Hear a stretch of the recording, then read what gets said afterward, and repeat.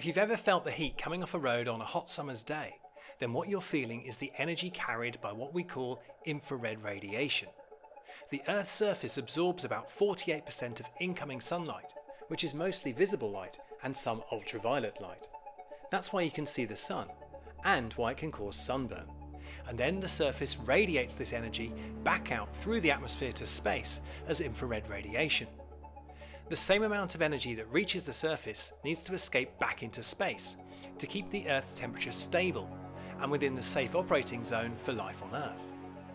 However, only some of the gases in the atmosphere can strongly interact with the infrared radiation leaving Earth's surface, and in doing so, they slow down energy loss to space. These are called the greenhouse gases. If you add more of these greenhouse gases, this results in hotter temperatures on Earth. So how do we check if carbon dioxide is one of those greenhouse gases? I'm going to show you that shortly.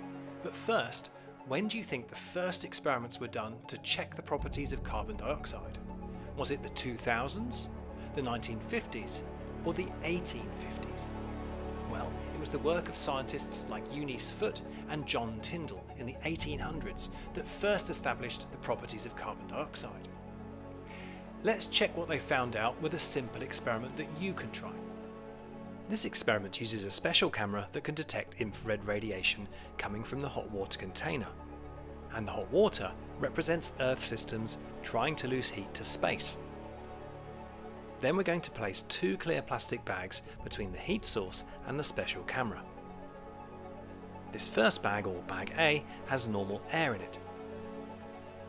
It's a good idea to take a note of the temperature here This second bag, or bag B, contains extra carbon dioxide.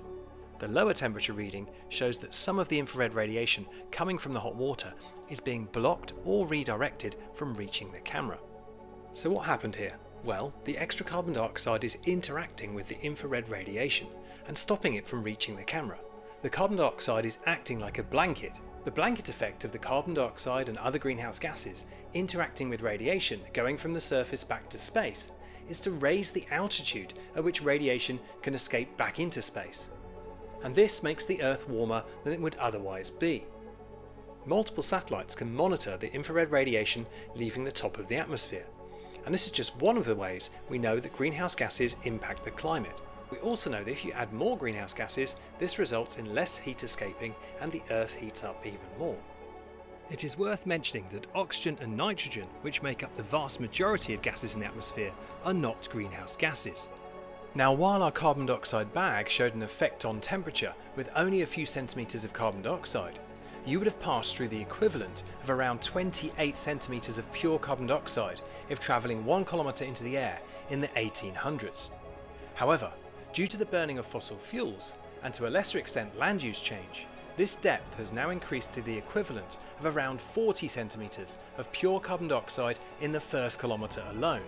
That's around a 40% increase in the depth of the blanket and is still increasing rapidly today.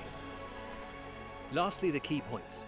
Yes, carbon dioxide is a greenhouse gas, and global temperatures will keep rising until greenhouse gases stop rising in the atmosphere.